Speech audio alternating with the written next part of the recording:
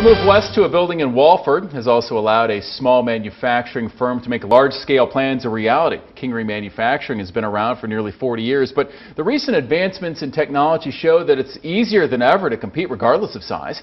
Kingery is this week's Made in Eastern Iowa.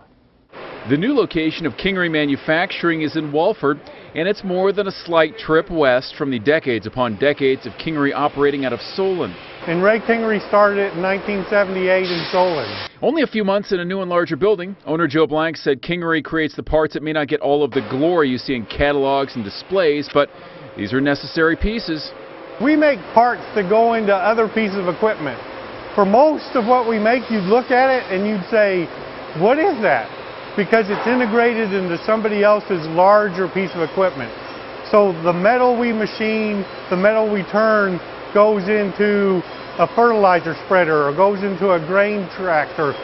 Along with the 14 employees at Kingery, Joe was also too pleased to show off two sizable pieces of new and advanced equipment, and these can truly enhance the production of the precious metal parts. 15 years ago, these machines didn't exist, and if they did, they were hugely expensive.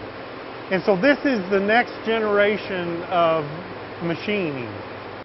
Both for the offering and the prototypes that are worth double and triple checking before they're sent out. This is called a five-axis machine.